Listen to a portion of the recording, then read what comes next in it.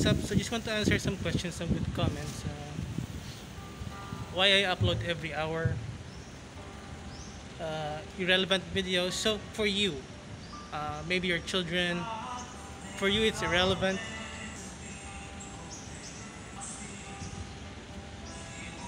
But for me, it's not irrelevant.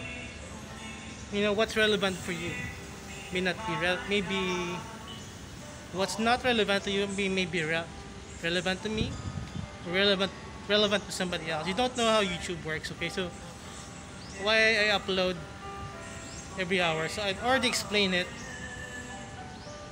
in a previous video, but me I just upload do whatever I want. So I don't care what people say. So I literally do whatever I want.